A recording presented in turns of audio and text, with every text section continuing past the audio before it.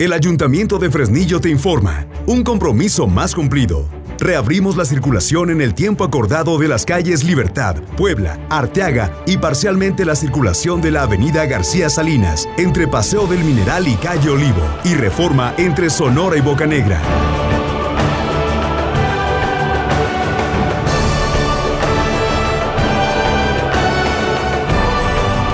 Más beneficios que marcan la diferencia. Ayuntamiento de Fresnillo.